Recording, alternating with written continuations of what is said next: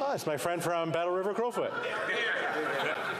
Thank you, Mr. Speaker. That's embarrassing deflection from the party that sent a gas turbine back to Russia that is funding Putin's war.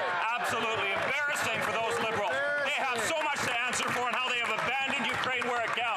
Now, Mr. Speaker, Darren is a turkey farmer that I spoke to today. Pays $30,000 in the last year in the carbon tax. By the time it's quadrupled, it will be almost 120 grand. Mr. Speaker, my question to those liberals is simple. Do they expect him to raise costs? or to cut back production so that Canadians are forced to import food from polluting foreign jurisdictions. The Honourable Minister of Justice and Attorney General. Mr. Speaker, when it comes to food security, we always have to remember that the breadbasket of the world is a country called Ukraine. And I'm going to use the I'm going to use the title of that country deliberately because when you can't Order. Order. Order. Order. Order.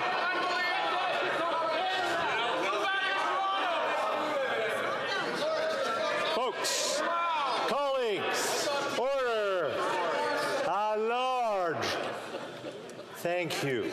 Um, un problème de tr- tra- traduction. I think there's a translation problem. They can't hear the honourable member for Salaberry Suroît. Mr. Speaker, I'll tell you, we've hit our limit.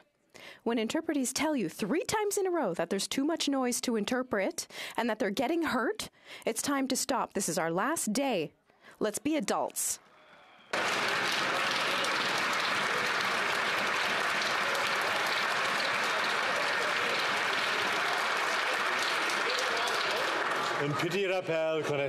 Quick reminder we're almost done.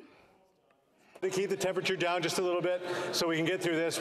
Interpretation is a challenge, a lot of cases when there's lots of noise uh, in the chamber. The Honorable Minister of Justice and Attorney General, uh, 21 seconds.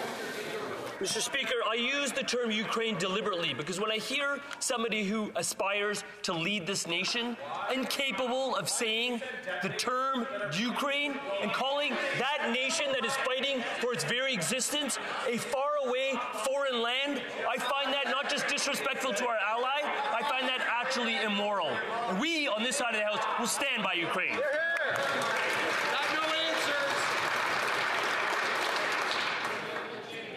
The Honorable Member for Battle River Crowfoot. Mr. Speaker, how embarrassing. This week they abandoned Israel at the United Nations, and that member should know that it is Canadian detonators that are ending up in the fields of Ukrainian farmers. They should be absolutely embarrassed and ashamed, ashamed of themselves for abandoning the farmers of Ukraine. And, Mr. Speaker, when it comes to the cost that Canadian farmers are paying for the carbon tax, Mr. Speaker, here's the reality. For Darren, it's 120 grand that he has to recoup somehow.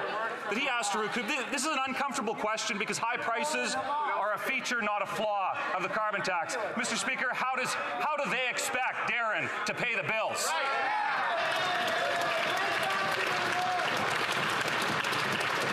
The Honorable Parliamentary Secretary.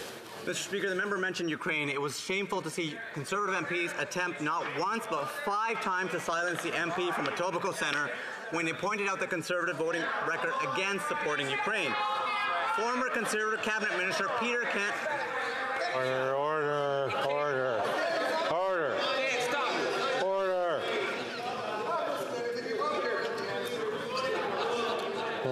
Um, you know, we're just about 3 o'clock, and the more we attack one another, the louder it's going to get in here. So I would just suggest that everybody uh, bring it down a notch. Christmas is coming. The Honorable Parliamentary Secretary. From the top. Mr. Speaker, former Conservative Cabinet Minister Peter Kent put it in this way, and I quote, when partisan politics trumps principled unity and support for a valiant democracy, he was referring to the Conservative record voting against Ukraine and free trade. No amount of doublespeak or empty talking points will change that, Mr. Speaker.